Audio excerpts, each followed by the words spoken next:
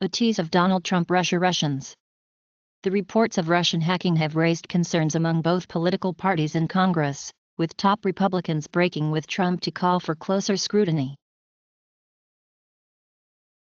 Russia, if you're listening, I hope you're able to find the 30,000 emails that are missing, Trump said. Also fueling the rhetoric, Democrats' complaints the White House was slow in confronting Russia's hacking in the final days of the presidential campaign, a claim the White House disputes.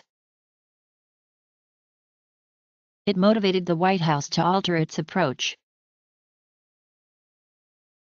The president-elect's dismissal of U.S. intelligence binning Russia to the hacking was materially different from Trump's other bombastic statements, according to one White House official who spoke anonymously to describe internal thinking.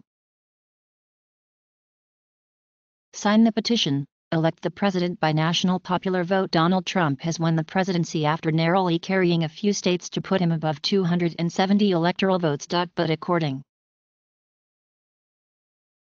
Donald Trump Drew Angerer slash Getty Images The president-elect speaks during a meeting Wednesday in New York with technology executives.